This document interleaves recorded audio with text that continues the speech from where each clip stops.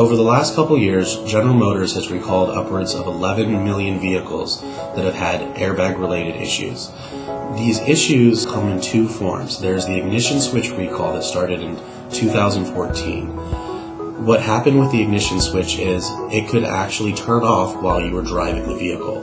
This would cause issues with your steering because your power assisted steering would no longer work, your power assisted brakes would no longer work, and this could lead to an accident. Also, sometimes in an accident, you wouldn't notice, but it would turn off before your airbags had a chance to deploy. When the car is off, your airbags will not deploy, and this can lead to increased injuries or even death.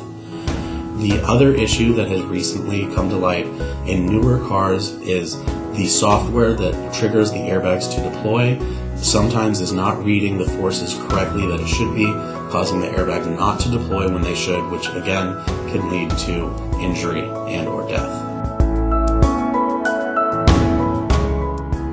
General Motors is the largest seller of vehicles in the United States. They sell under many popular brand names. All Chevrolets, all GMCs, all Cadillacs, and all Buicks are General Motors vehicles.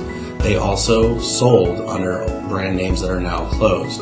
These brands include Saturn, Saab, Hummer, Oldsmobile, and Pontiac.